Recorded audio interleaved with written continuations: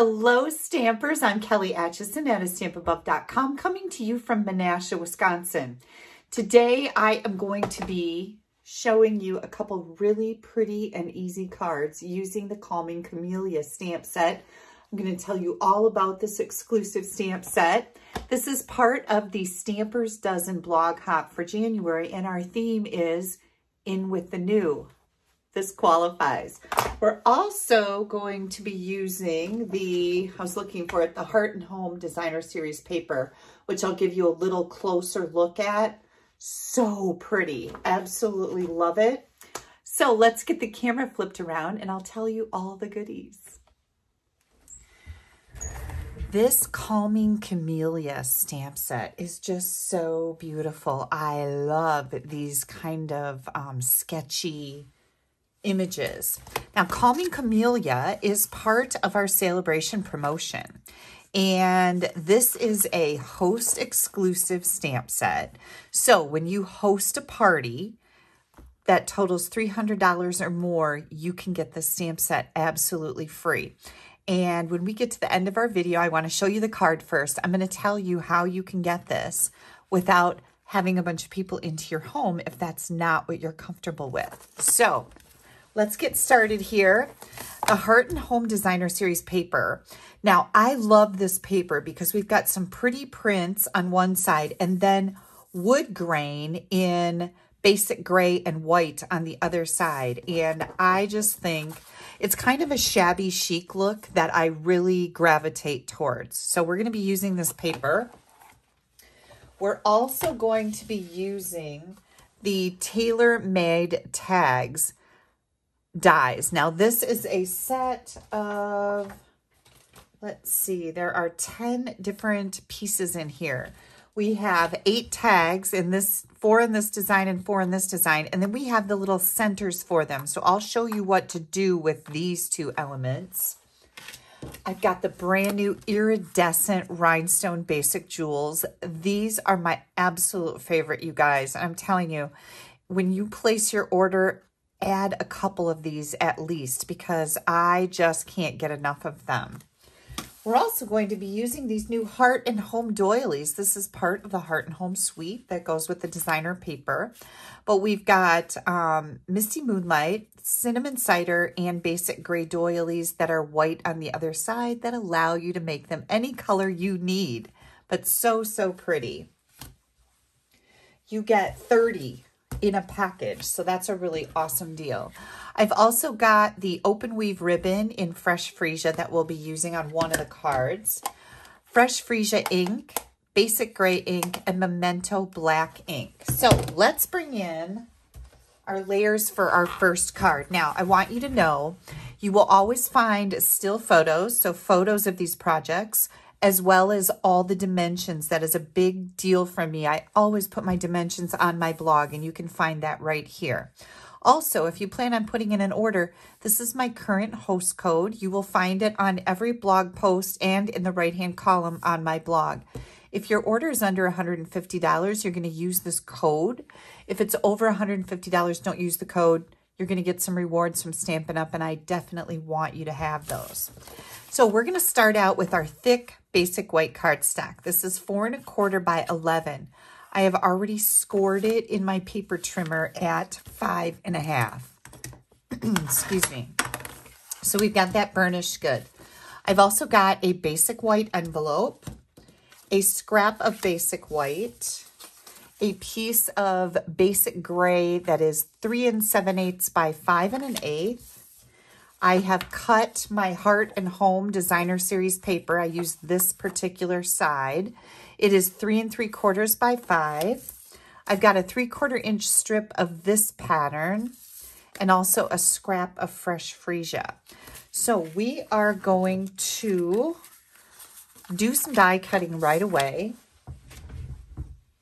I'm going to bring in the tailor-made tags. Now I have to tell you guys, these are very, very popular. And with all of the um, shipping issues that we are experiencing all over the globe, Stampin' Up! is not immune to that either. We are having um, these are on back order right now, but I do show that they're going to be back in our warehouse the week of the 24th. So I just want to let you know that, that they're coming. So I am going to die cut this tag and this tag. I use it from this side over here.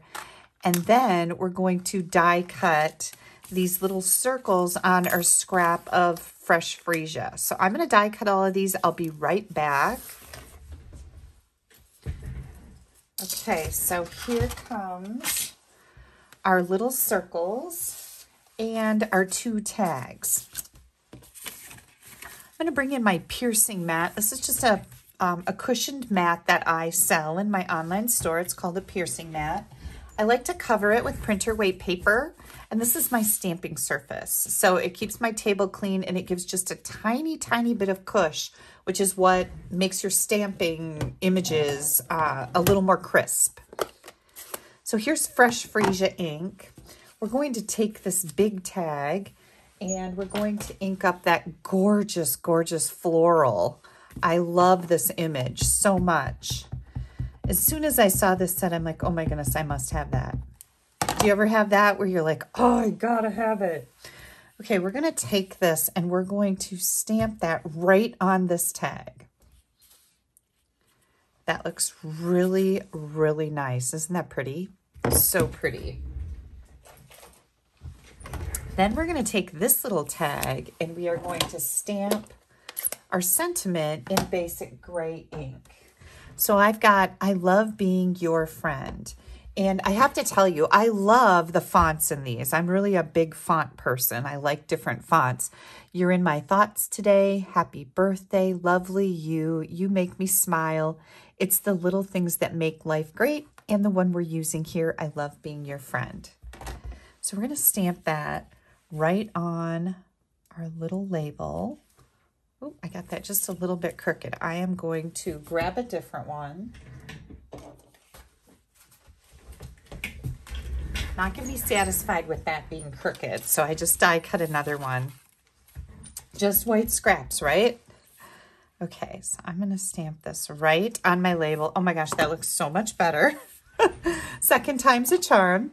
And then I'm going to take this and just over here on the side where I know there's little flowers right there, I'm going to bring this in and stamp it on the bottom of my tag. And isn't that just so charming? I love this look. Now, as long as we've got our ink out and we're stamping, let's do our inside before we put anything together. I always like to stamp the insides of my cards before assembly because if I mess it up, I can turn it around, I can redo it without wasting a lot of like designer series paper. So I'm gonna do the basic gray, You Make Me Smile, absolutely love that. And then we've got this pretty like leafy foliage image and I'm going to stamp that in the basic gray. I'm going to stamp it off once very lightly, and I'm just going to come in here and add that image right there. And I just thought that would be very, very pretty.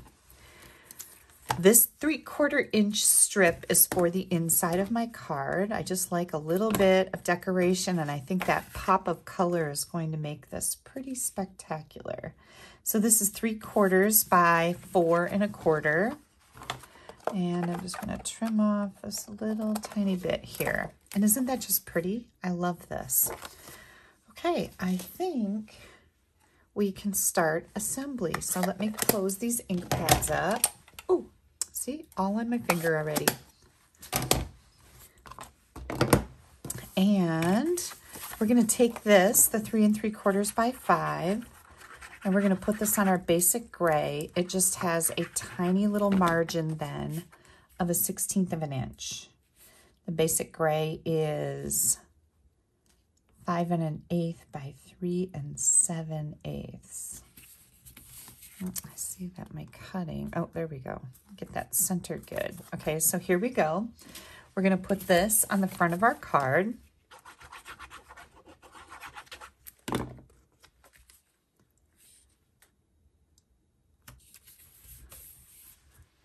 And then we're going to take these two pieces. On the smallest tag is where we're going to grab one of those little circles from the um, I don't know what you call these things, but they remember, they remind me of library tags, right? I don't know where that's coming from, but it's just something that sparks my memory. Library tags. I'm going to take that and I'm going to put it right over the opening on this particular tag. And that just dresses it up a little bit. Now we don't need to do anything on this tag because we're going to cover this up right there. Oh, you know what I noticed? I've got two different tags here. I've got the straight edged one and the detailed edged one. So that's funny. I'm just going to keep going. But um, I would probably use, I used this type of tag here. I would probably use that here too. And my sample is made with this matching tag. So I'll, uh, I'll put the pictures up of that so it's not confusing. But here we go. I'm going to take this tag. I'm just going to put a little bit of glue right up here. And I'm going to put this right on here. And then I wanted to grab these doilies. And cut this one in half. This is the basic gray. I'm just going to cut that in half because I only want to use half of it.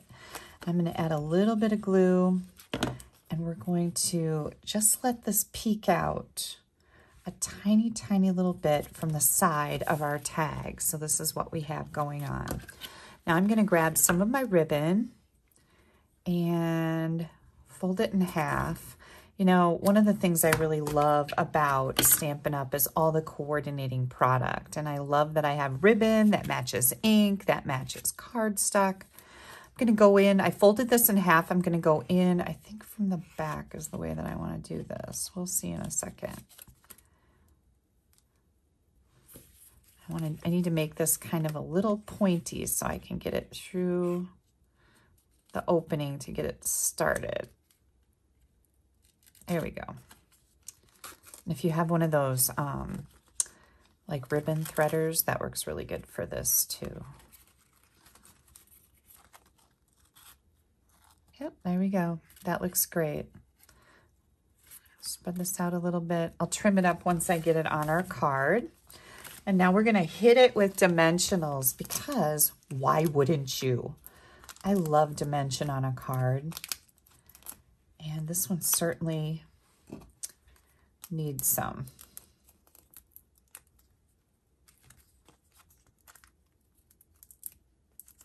My goodness, what's happening here? It looks like my dimensionals were cut a little bit too deep um, maybe a manufacturer's flaw there.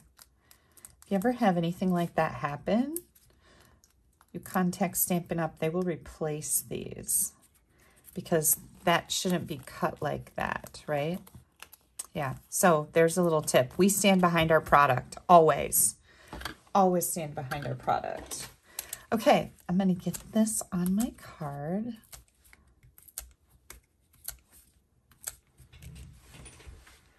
And here we go. Put this right on here. Gosh, you guys, what do you think? I just thought this was so pretty. I'm going to trim this a little closer. There's our card. Here's our inside. And we need to do something with our envelope. So let's grab that. I think I'm going to grab this big floral and we are going to stamp that right on the front of our envelope. You're going to have like the most amazing presentation when somebody opens up their mailbox and finds this beauty in there, right? So here's our card. Here's our envelope. I am going to do one more card for you. Let me bring in the other layers. This one is also going to be fresh freesia and white. So what I've got here, all my layers, we've got five and a quarter by, I'm sorry, four and a quarter by five and a half. We've got fresh freesia that is nine, nine by three and a quarter. We've got a three and a quarter by three and a quarter. I'm bringing in the same wood grain paper. So this is four by five and a quarter. This is three by three. three quarters by whatever we need it to be. We're going to trim that. Two basic white layers that are both three by four and a quarter. And of course our envelope. So what I'm going to do here is I'm going to bring in my paper trimmer. We're going to take this three by three designer series paper and I'm going to put the tip of each end here in the channel and I'm going to cut this at a diagonal. Okay, so this is what we're going to end up with. We're going to do the same thing to the Fresh Freesia three and a quarter by three and a quarter. We're going to cut that on a diagonal from tip to tip. There we go. Move this out of the way. Oh, while we're here, you guys, we can take this piece. You can fold this in half if you cut it the way that the paper folds nicely, or you can score it at four and a half. We want to just score it in half since it's nine inches. That would be four and a half. Okay, I'm going to get this ready to go. Burnish this edge good. And then we're going to, you're only going to need one of these, okay? So I am going to take, uh-oh, I cut it the wrong way. Hmm, hang on. I needed this, I need, I need this wood grain to go a certain angle. So instead of putting it in like this, I should have put it in like this, and I just wasn't paying attention. But I will use that other piece for a different card. Don't worry. We I will not waste it. There will be no designer paper wasted here today. okay, now I am going to take this and I'm going to put it on this piece right here. So we can add that.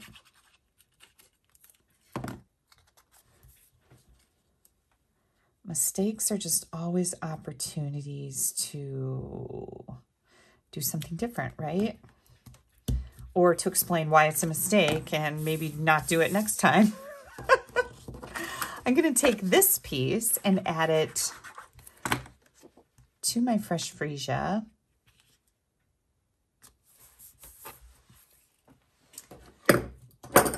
And I'm going to grab my tear and tape. You need something fairly strong for this. I'm going to add that to the back of this edge right here. And we're going to form a little bit of a pocket. So here comes, you want to stay really close to the edge so you're not taking up all of your pocket room. And tear and tape is really strong and good for these types of things because I don't want my card to fall apart. Could probably do mini glue dots too you don't have any tear and tape, but I do recommend tear and tape is really nice for making boxes and it's a great adhesive to use on um, fun folds so that they don't come apart on you. Okay, here we go. We're to just add this right to the edge. Look at how cool that looks. Oh, see? Now, if I would have put this in the other way, my planks would be going this way, and that would, I don't know. I just thought it would be kind of goofy. Okay, here comes our two white panels. And I am going to take one of them and grab my big floral stamp. I'm going to get this stamped right on this panel.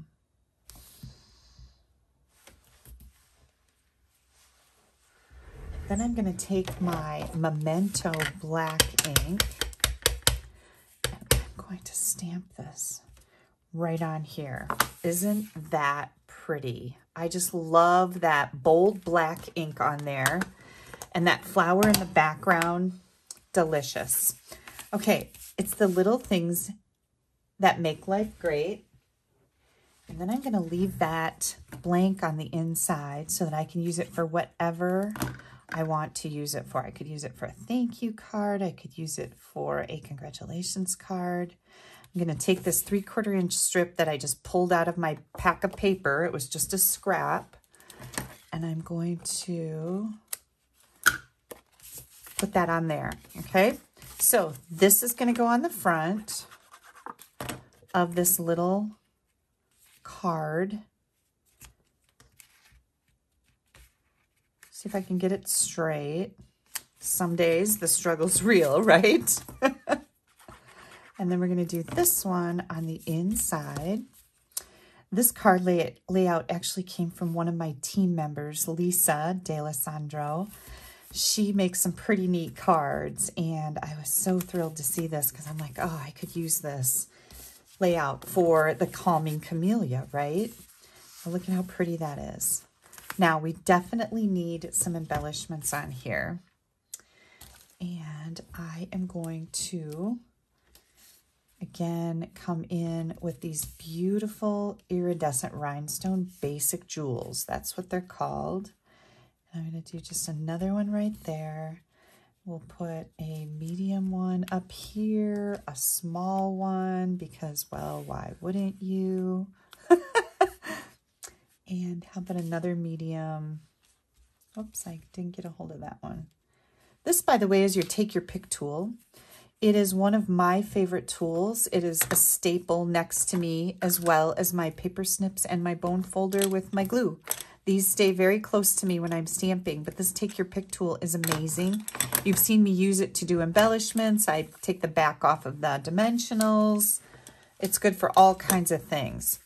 All right, now we need to do a little decoration on here. And I'm going to grab that flower again. And I'm just going to stamp that right on my envelope. So now we have two beautiful, beautiful cards using the Calming Camellia. What do you guys think? Is this not so pretty? What do you think about adding a little bit of Wink of Stella? I think that that would be a really great idea for this card. And I'm going to do it right here on this label. I'm just going to color this flower in a little bit on here. And I hope you can see that. Can you see that in the light? that adds just a little, little bit of pretty. We can do that over here too. Just add a little bit maybe to the center flower right here. And can you guys see that? I hope. Let me get my light in here a little better. I hope you can see that. It's so pretty. Okay, so there's two great cards with the Calming Camellia. Now, I was going to tell you a little bit about this stamp set. This is available for free when you place a $300 order. So you can, you know, stock up on your card stock, your embellishments, ribbon, um, and get this for free with a $300 order. Or you could have a catalog party. And catalog parties are very easy to do virtually because what I would do is I would send you a host code, a different one that is all your own, would be set up under your name. I would send you links to our current catalogs and you would then copy and paste those into an email or put them on your Facebook page and invite people to join your online party. You can collect orders. They will go online to my store to place an order using your code, not this one, a different one. And all those orders will stack up with you. And when you hit $300, you get this for free. What? Yeah. It's pretty cool. Now, the other thing that's great about right now is it is celebration time. So I'll give a link to this brochure. You'll find this on my blog. Um, everything in here is free. So free with a $50 order. You get paper, you get stamp sets, more paper, really cute stamp sets and more paper. Here's a bundle. You get the paper and the stamp set with a $100 order for free. And we have this fantastic special moment stamp set. 21 different sentiments in here, free with a $100 order. The other cool thing about Celebration, which lasts until the end of the month, is not only can you get all of this stuff, but if you join my team, and I have a really fun team of discount shoppers, you get to choose $125 in any product you want to put into your customizable kit, anything you want. Plus, you only pay $99 for it. Plus, during celebration, before the end of the month, uh, the end of February, you get to add two stamp sets of any size to your kit order. So, pick out $125. You get to choose two additional stamp sets.